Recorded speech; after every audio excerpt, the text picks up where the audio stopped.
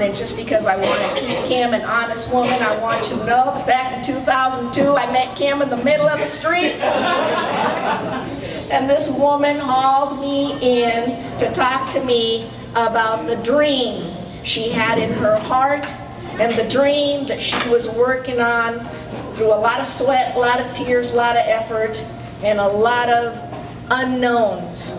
And through all of that, bringing us to today, and with God's grace propelling us forward. I will tell you that Kim Carter Time for Change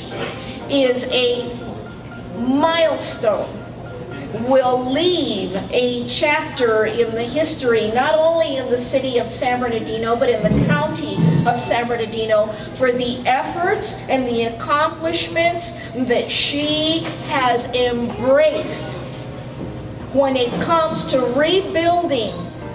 lives that for whatever reason have turned left, have turned right, and have made wrong turns. But in the end, ultimately, are human beings who one day surface to a conscious awareness of wanting to live a fulfilled life. And it is that conscious awareness that has been denied the opportunity for years until Kim Carter came along with her dream and called it Time for Change.